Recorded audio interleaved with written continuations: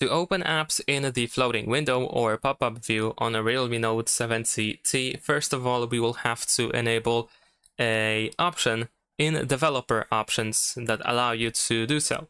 So we're gonna open settings and scroll all the way down and then choose about phone.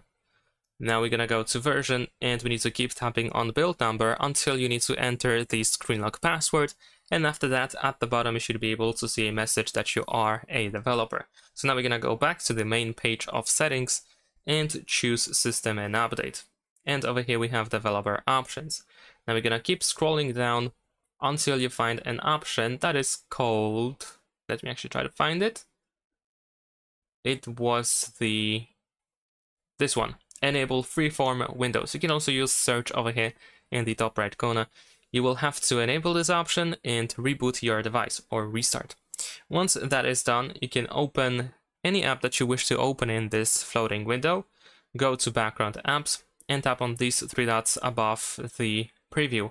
And here we can use freeform. And as you can see, this is pretty much the floating window mode. And that's it. Thanks for watching, leave a like and subscribe.